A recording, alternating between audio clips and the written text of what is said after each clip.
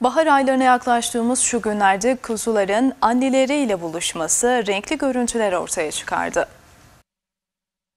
Koyunların kuzulama döneminin başlamasıyla birlikte Elazığ'da her yıl olduğu gibi bu yılda renkli ve duygusal görüntüler oluşuyor. Merkeze bağlı Nuralı köyünde hayvancılıkla uğraşan Şavak aşiretine bağlı aileler baharın habercisi kuzuların doğmasıyla birlikte anneleriyle buluşmasını sabah ve akşam olmak üzere günde iki kez gerçekleştiriyor. Kuzulayan koyunlar bir süre yavrularıyla aynı mekanda bırakılıyor. Ardından ayrı yer alınan kuzular sabah ve akşam olmak üzere günde iki kere anneleriyle bir araya geliyor. Buluşma saatinin yaklaşmasıyla koyun ve kuzuları adeta heyecan sarıyor.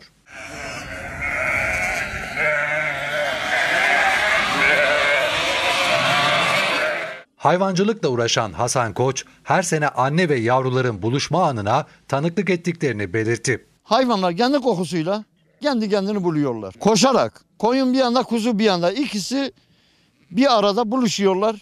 Ayrılıp koyun kuzusunu emdiriyor. Kuzu ve koyunların içgüdüsel olarak birbirlerini bulduklarına dikkat çeken Oğuzhan Çam ise şunları söyledi. İçinde öksüz olan kuzularımız da var bunun gibi abi. Kendilerini diğer koyunlarla ya da süt aldığımız sütlerle biberonla falan emziriyoruz başta. Koyunla kuzunun burlaşması çok güzel görüntüler uşuyor abim. Ee, ne bileyim değişik bir şey abim bunu hissetmek lazım. Hayvancılıkla uğraşan Mehmet Koç da sabah akşam kuzularla bir arada oldukları için mutlu olduklarını ifade etti. Bunlar e, kokuyla, içgüdüyle bunlar hareket ediyor yani. Her koyun mesela bir bakıyorsun öbür tarafta kuzu meliyor, bu tarafta koyun meliyor. Oradan koşuyor, bundan koşuyor. Yani sesiyle, kokusuyla bunlar şey yapıyor abim yani. Bu, bu da Allah'ın bir hikmeti.